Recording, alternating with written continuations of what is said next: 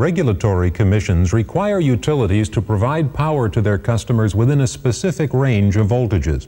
One reason is that customer equipment is designed to operate within a specific voltage range. Abnormal voltages may damage customer equipment or cause it to operate inefficiently. For example, voltage that is significantly lower than the desired range may cause lights to dim and motors to burn out.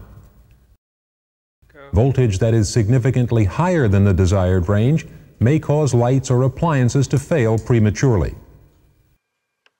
The voltage in a transmission and distribution system can be affected by a number of factors, such as load changes, or the type of load added to or taken off the system. One way that voltage is maintained within the specified range is by the use of voltage regulators. In this unit, we're going to look at substation voltage regulators, how they work, how they're controlled, and how they're inspected, checked, and isolated for maintenance.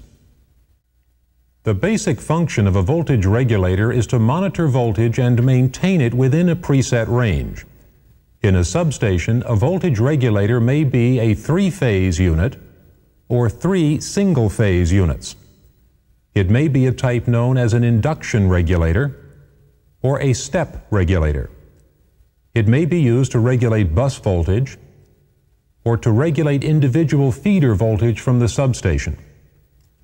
Three-phase and single-phase voltage regulators are very similar in how they operate and in how they are controlled.